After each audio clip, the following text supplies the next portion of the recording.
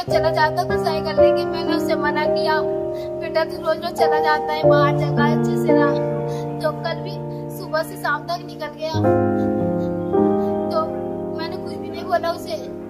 ये वो माँ है जिसके 9 साल के बच्चे ने सुसाइड कर ली। इक्कीसवीं सदी कैसी होती जा रही है, जहाँ लोगों में सहनशीलता खत्म होती जा रही है। सोचिए 9 साल की उम्र खेलने कूदने की उम्र होती है। लेकिन इस उम्र में बच्चे सहनशीलता खोते जा रहे हैं।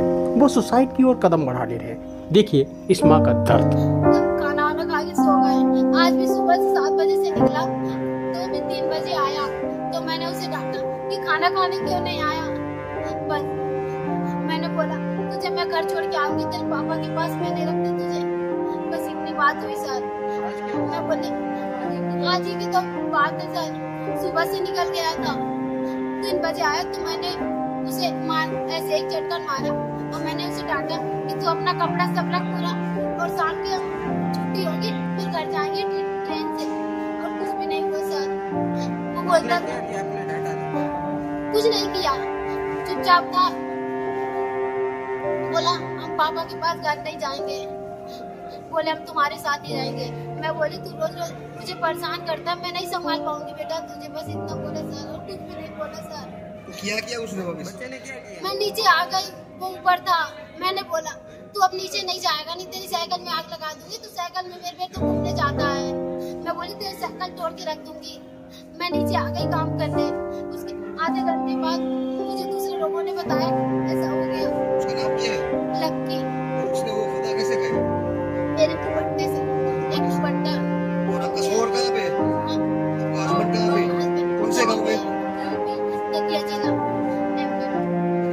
ये हमारा समाज कैसा बनता जा रहा है? जहाँ पर नौ साल का बच्चा सुसाइड कर लेता है। 9 साल के बच्चे में कोई इतनी ज़्यादा समझ नहीं होती है। फिर आखिर इतना ज़्यादा क्यों? किस और हम अपना समाज लेके जा रहे हैं? जहाँ पर बच्चों के अंदर ही सहनशीलता खत्म होती चली जा रही है। ये कौन सी ऐसी वजह है? क्या ऐसा है कि आज परिवार जो है, वो संयुक्त परिवार ना होकर के एकल परिवार रह गए हैं? जहाँ पर पहले क्या होता था कि बच्चे एक अपने बाबा, दादी, चाचा, चाची, ताऊ, ताई सबके साथ रहते थे। संयुक्त परिवार हुआ करता था। आज बच्चा अकेला पड़ जाता है। उसको कोई समझने वाला नहीं होता है। शायद ये भी एक बड़ी वजह हो सकती है ये भी एक बड़ी वजह हो जिसकी वजह से बच्चा सुसाइड कर लेते हैं। और आप देखते हैं ना, बच्चे आजकल के मोबाइल फ़ोन हाथ में ले लेते हैं और बच्चों की लत लग जाती है। उनके हाथ से छोटे छोटे से बच्चे, आपने देखा होगा कई माओ को अपने छोटे से बच्चे को मोबाइल लेकर के खाना खिलाती है।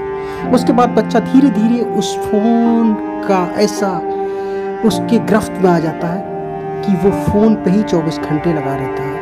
कहीं कार्टून्स, कहीं कुछ कहीं कुछ। और वो सामाजिक दुनिया से अलग हट जाता है। लोगों से कनेक्टिविटी उसकी खत्म सी होने लगती है। उसकी दुनिया मोबाइल में सिमट के रह जाती है। इसलिए दोस्तों एक ऐसा समाज बनाइए जहाँ पर बच्चों को टाइम दीजिएगा। बच्चों को टाइम देंगे, वो आपको समझेंगे, वो अपनी चीज़ों को। अदरवाइज़ इस तरीके से घटनाएँ समाज में बढ़ेंगी तो समाज के लिए बहुत ही घातक होगा।